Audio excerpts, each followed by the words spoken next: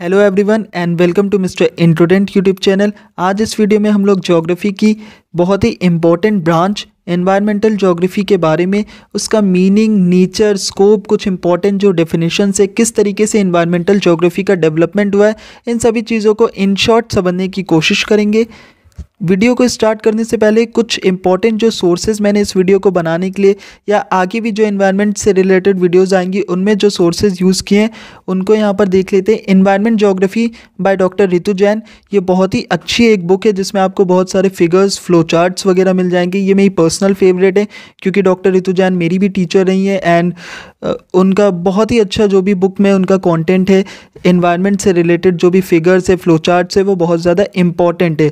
Environmental geography by doctor Savindra Singh ये भी book बहुत अच्छी है, अगर इन्वायरमेंट से रिलेटेड इकोसिस्टम और जो भी, जितने भी साइंटिफिक चीज़ें हैं जो आपका फ़िज़िकल साइंसेस से भी रिलेट करते हुए इस बुक में आपको काफ़ी अच्छा कंटेंट मिल जाएगा। एन क्लास एर्थ जो इन्वायरमेंट की बुक है, उससे भी हमने कुछ पार्ट लिया है। एंड यूजीसी की जो भी ऑनलाइन रिसोर्सेज अवेलेबल है या कुछ जो इंपॉर्टेंट यूपीएससी की बुक्स हैं, उन सभी का हमने इस वीडियो को बनाने में इस्तेमाल किया है। So without wasting much time let start with the video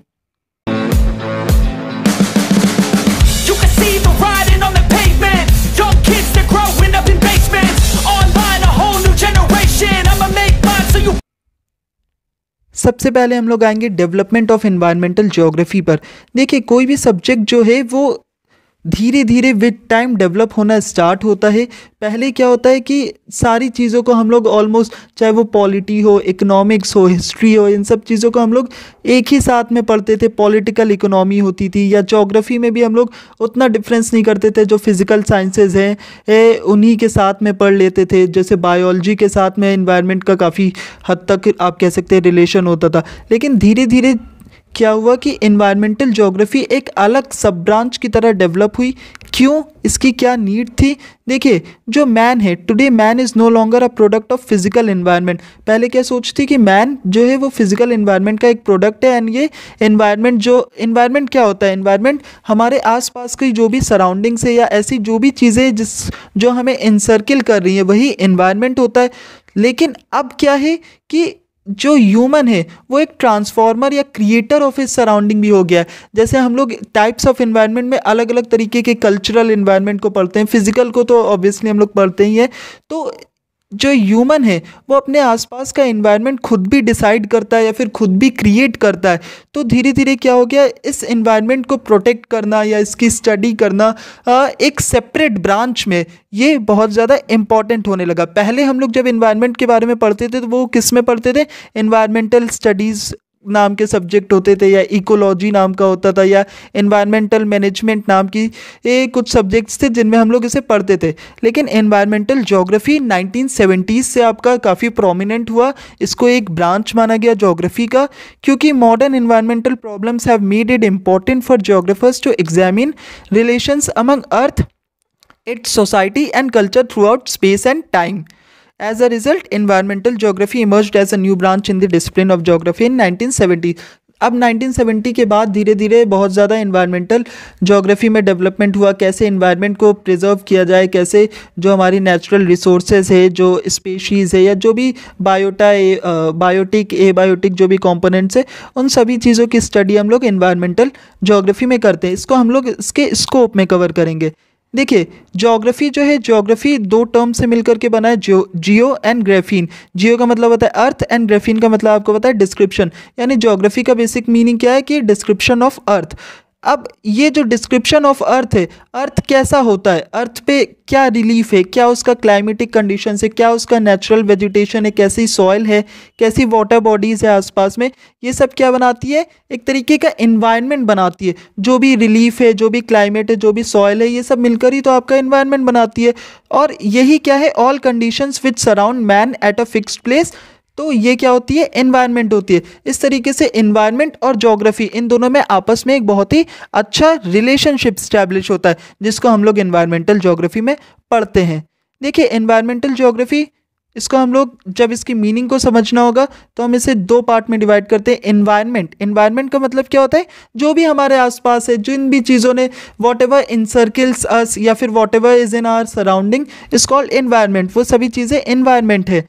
जो भी हमारे आसपास का, जैसा भी माहौल है, जैसे भी बायोटिक ए बायोटिक कंपोनेंट्स जो भी चीज़ें हमारे आसपास है, सब कुछ हमारा इन्वायरमेंट बनाती है। और जोग्राफी का मतलब क्या है?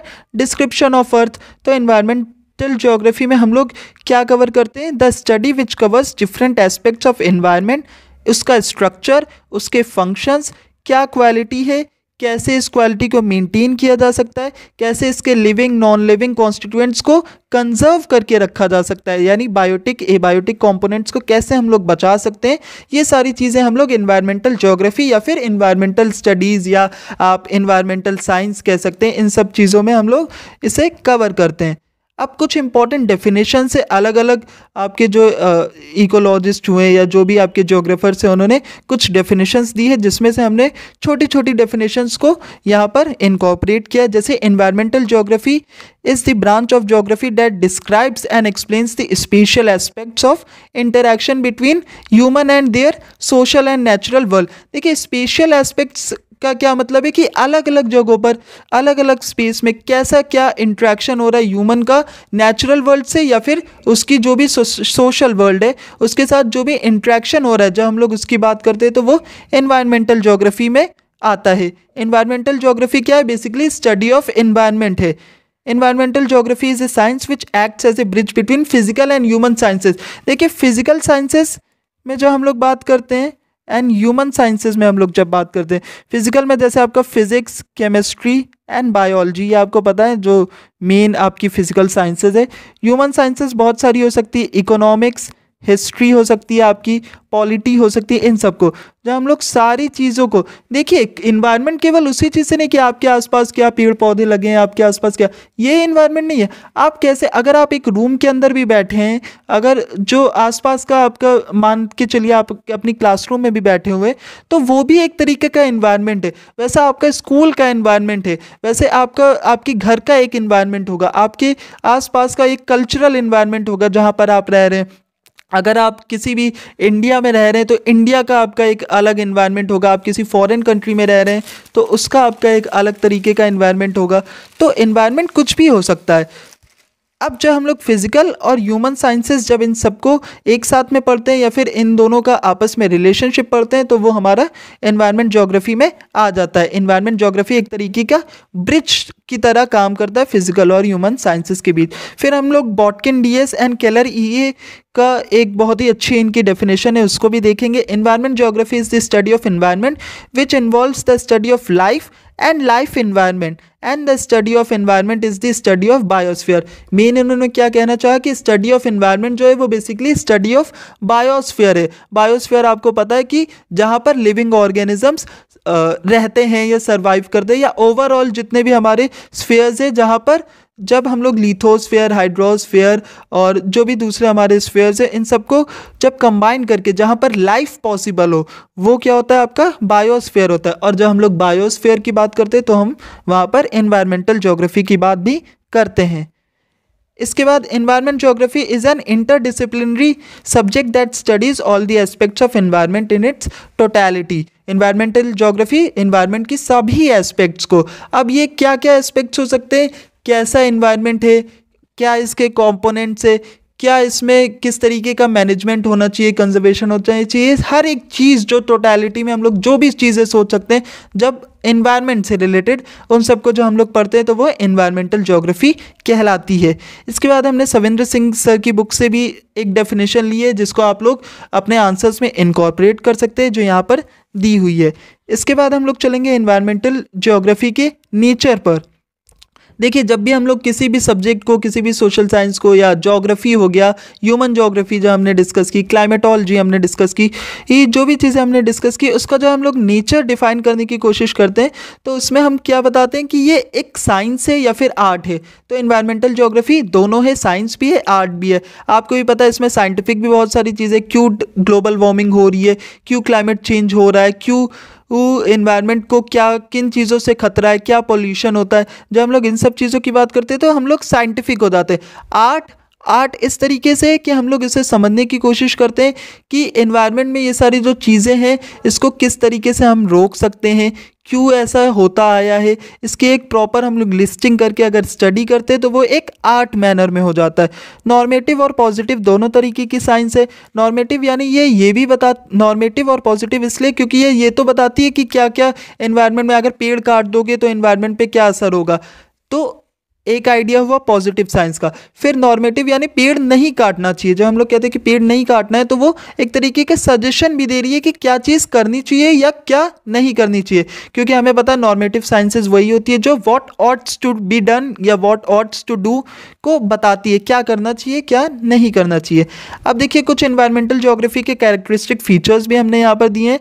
इन्वायरमेंटल जोग्राफी एक सोशल साइंस है। सबको पता है, क्योंकि ये सोसाइटी और कल्चर और सारी चीज़ों को हम लोग जब एक साथ में पढ़ते हैं तो हमारा इन्वायरमेंटल जोग्राफी बनता है। एक स्पेशल साइंस है। स्पेशल साइंस इस तरीके से क्योंकि हम लोग अलग अलग जगह पर अलग अलग तरीके का, जो ह्यूमन का मैन का इन्वायरमेंट के साथ इंट्रैक्शन होता है, उसके बारे में हम लोग इन्वायरमेंटल जोग्राफी में पढ़ते हैं।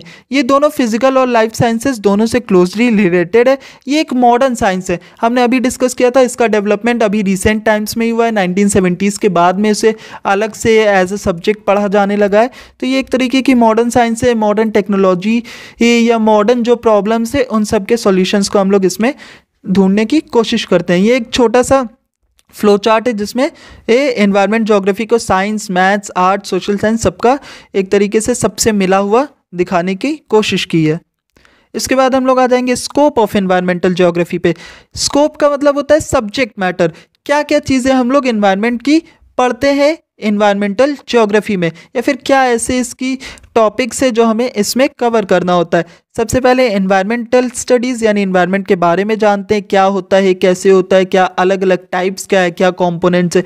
फिर हम लोग मैन इन्वायरमेंट और सोसाइटी के बारे में जानते हैं कि किस तरीके से मैन का इंट्रैक्शन है इन्वायरमेंट के साथ कैसे सोसाइटी फॉर्म हो रही है, क्या सोसाइटी में क्या प्रॉब्लम्स है, इन सब चीज़ों को। फिर हम लोग इन्वायरमेंटल मैनेजमेंट की बात करते हैं, यानी जो हमारी जो प्रॉब्लम्स है इन्वायरमेंट में, उसे कैसे मैनेज किया जाए, कैसे एक सस्टेनेबल फॉर्म में रखा जाए, किस तरीके से इसे कंजर्व किया जाए, ये सारी चीज़ें हम लोग इसके स्कोप में पढ़ते हैं। इसको थोड़ा सा और जब हम लोग ब्रॉड कर देंगे तो हमने यहाँ पर नौ पॉइंटर्स रखे हैं स्कोप में। इन्वायरमेंटल जोग्राफी के, जिसे हम लोग फर्दर भी आगे डिस्कस करने वाले हैं। ये जो आपको फ्लो चार्ट्स और ये डायग्राम्स दिख रहे हैं, ये मेरे हैंड रिटन नोट्स का पार्ट है, जो कि आपको हमेशा टेलीग्राम चैनल पर अवेलेबल रहता है।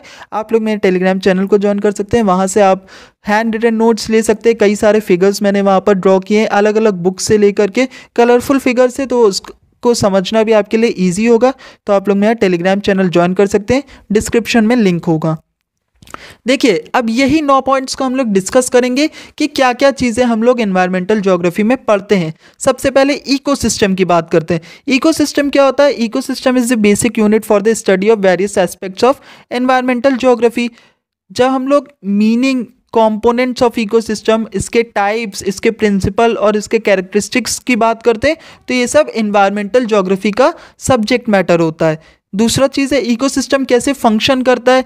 क्या है पैटर्न्स ऑफ़ एनर्जी एनर्जी का फ्लो कैसे होता है इकोसिस्टम में? कैसे क्या क्या साइकिल्स होती है? अलग अलग तरीके की आपने जियोकेमिकल साइकिल सुनी होंगी nitrogen cycle carbon cycle water cycle phosphorus cycle तो इन सबको जो हम लोग पढ़ते हैं तो वो भी क्या है हमारा? इन्वायरमेंटल जोग्राफी का ही सब्जेक्ट मैटर है। इसके बाद हम लोग टेम्पोरल इकोलॉजिकल चेंजेस की बात करते हैं। यानी किस तरीके से टेम्पोरल का मतलब क्या होता है? टाइम के साथ क्या क्या चेंजेस हुए हैं? टाइम पहले किस तरीके से इवोल्यूशन हुआ प्लांट्स एंड एनिमल्स का? कब एक्सटिंक्शन होने लगी स्पेशीज की? जब हम लोग टाइम के अकॉर्डिंगली चीज़ों को पढ़ने लगते हैं तो वो भी हमारा इन्वायरमेंटल जोग्राफी के सब्जेक्ट मैटर में आ जाता है। फिर इकोलॉजिकल चेंजेस इन स्पेस यानी वर्ल्ड का वर्ल्ड में कैसा डिस्ट्रीब्यूशन है प्लांट एंड एनिमल्स का? कि जैसे हम लोग नहीं वेजिटेशन पढ़ते हैं कि यार टाइगा कहाँ पर होगा टुंड्रा कहाँ पर होगा? आपका क्या फॉर्म्स ऑफ़ ग्रासलैंड है या स्टेपीज कैसे है प्रेरीज कहाँ पर है? तो एक तरीके से वर्ल्ड डिस्ट्रीब्यूशन कौन से एनिमल कहाँ ज़्यादा पाए जाएँगे, ये सब चीज़ें और इकोलॉजिकल जो भी वेरिएशंस होती है ग्लोबल लेवल पे ये सब भी हम लोग एनवायरमेंटल जोग्राफी में ही पढ़ते हैं।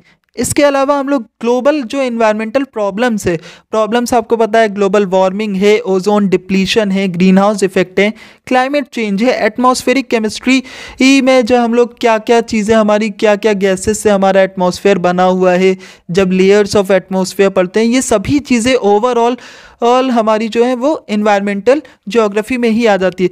जब देखिए, जब इन्वायरमेंटल जोग्राफी का हम लोग सिस्टर डिसिप्लिन या फिर इंटर डिसिप्लिनरी क्योंकि एक साइंस है तो इसके जो अलग अलग डिसिप्लिन के साथ हम लोग जब रिलेशन देखेंगे तो उसमें आपको पता चलेगा कि इसका क्लाइमेटोलॉजी के साथ भी रिलेशन है, इसका हाइड्रोलॉजी के साथ भी रिलेशन है, इसका जो फ़िज़िकल जो साइंसेज है, यानी फिजिक्स हो गई केमिस्ट्री हो गई बायोलॉजी हो गई, इन सब के साथ भी अलग अलग रिलेशनशिप है, जिसको हम लोग फर्दर आगे की वीडियोस में कवर करेंगे। नेक्स्ट हम लोग देखेंगे मैन इन्वायरमेंट एंड सोसाइटी के बारे में, यानी meaning composition types of environment क्या जोग्राफी इन्वायरमेंट और मैन और नेचर का क्या रिलेशनशिप है इको डेवलपमेंट के बारे में जानते हैं इकोलॉजिकल मॉडर्नाइजेशन के बारे में जानते हैं इन्वायरमेंट और हेल्थ के बारे में, क्या इम्पैक्ट्स हैं इन्वायरमेंटल चेंज के हेल्थ पर, इसे भी हम लोग अलग से समझते हैं। इन्वायरमेंटल हेजार्ड्स एंड डिज़ास्टर्स कौन कौन से ऐसी चीज़ें हैं जो डिज़ास्टर हैं या हेजार्ड्स है? क्या इनके कॉजेज़ एंड कॉन्सिक्वेंसेज है? क्या इनके कारण हैं होने के? और इनको कैसे हम लोग रिड्यूस कर सकते हैं या मैनेज कर सकते हैं, इसे भी हम लोग समझते हैं इन्वायरमेंटल जोग्राफी में। इसके बाद हम लोग देखते हैं इन्वायरमेंटल डिग्रेडेशन एंड पॉल्यूशन देखो, सारी ये जहाँ, ये जो भी पॉइंट्स लिखे हैं, इन सबको हम लोग इन्वायरमेंटल डिग्रेडेशन के साथ में पढ़ते हैं।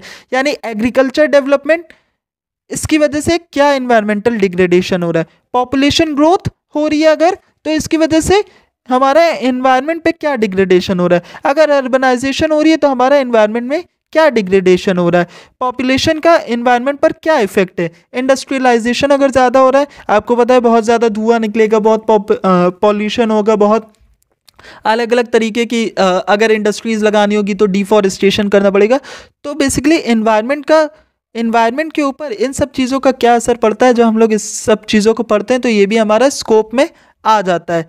लास्ट हमारा इंपॉर्टेंट पॉइंट है इन्वायरमेंट को कैसे मैनेज किया जाए? कैसे सस्टेनेबल डेवलपमेंट लाया जाए? कैसे नेचुरल रिसोर्सेज को मैनेज किया जाए? कैसे डिज़ास्टर को मैनेज किया जाए? मिटिगेशन कैसे किया जाए? जो रेस्क्यू किया जाता है लोगों को एनर्जी की क्या पॉलिसी होनी चाहिए?